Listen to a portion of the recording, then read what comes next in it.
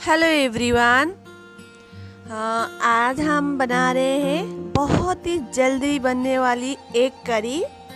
आ, ये एक करी आ, मैं बिगिनर के लिए बना रही हूँ। ये बनाने में बहुत आसान है आ, और खाने में उतना ही टेस्टी तो आज मैं अंडे का करी बनाने के लिए सेवन अंडे लिया है मैंने सात अंडे लिया है। उसी तरह से मैंने तीन बड़े आलू इस तरह से क्यूब में काट के रखा है। तो मैंने एक प्याज लिया है, इसको मैं ग्रेट कर रही हूँ।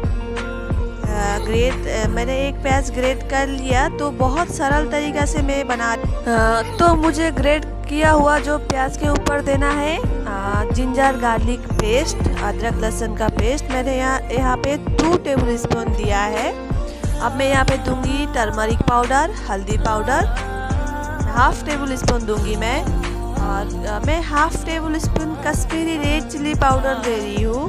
और मैं यहाँ पे चार हरी मिर्च दे रही हूँ। कुछ नहीं दे रही हूँ, बहुत सिंपल है बनाने में। इस चीज़ को साइड करके यहाँ पे मैं ये तेल में दूँगी। इलायच लौंग दालचीनी और दो तेज पत्ते तो मैंने यहाँ पे कढ़ाई गर्म होने दिया था तो मैं तेल दिया मैंने। थ्री टेबल स्पून दिया है। तो तेल गर्म हो गया तो मैं अंडे को फ्राई करूँगी। फ़र्स्ट प्रोसेस है ये। थोड़ा सा नमक और हल्दी दिया। और मैं दो मिनट के लिए इसको फ्राई कर रही हूँ। कलर थोड़ा सा चेंज हो गया है तो मैं इसको निकाल रही हूँ।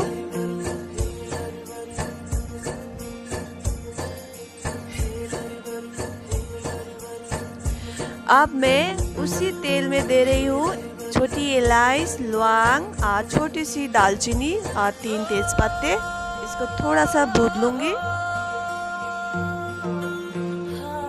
तो अब मैं उसमें कटी हुई आलू दे रही हूँ और थोड़ा सा नमक दिया। जल्दी पकने में सहायता देता है और कलर भी अच्छा आता है।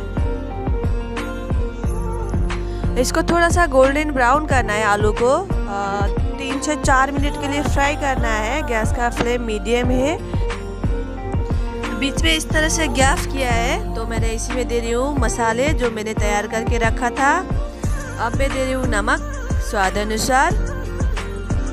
मसाले को मैं दो मिनट के लिए पकाऊँगी। फिर मैं पानी दे के ढक के, चार से पाँच मिनट के लिए और पकाऊँगी मसले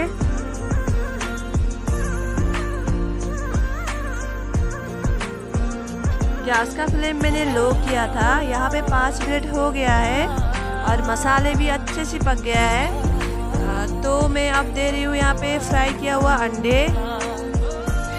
यहाँ पे पानी दे रही हूँ मैं। ग्रेवी बनाना है। तो अब मैं इस ग्रेवी को सुखाना है। तीन से चार मिनट लगेगी। गैस का फ्लेम हाई है। ये देखिए यहाँ पे चार मिनट भी हो गया है। तो और मुझे थोड़ा सुखाना है, दो मिनट।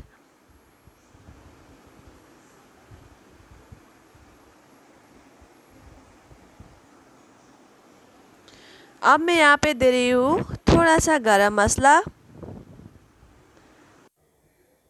ये अंडे का करी बहुत जल्दी बनकर तैयार होता है और ये बिगिनर के लिए मैंने पहले ही बोला था। इसी तरह से आप भी बनाना और अपना अनुभव मेरे किचन में कमेंट्स करके बताना।